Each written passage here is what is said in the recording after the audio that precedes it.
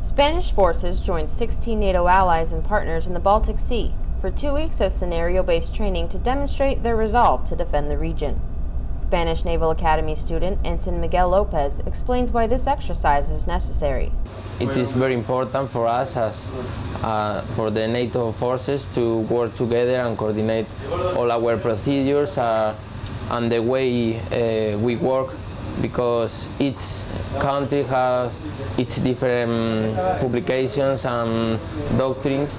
So uh, for us, the most important right now in, is to, to work uh, together in one way. Cabo Pilar Pedraez, an electronics technician, believes in the positive message Baltops is sending to the world. Uh, I think it's a very, a very important situation to establish. We are here to support these countries and that we have a good relationship between uh, USA and, and the European countries same.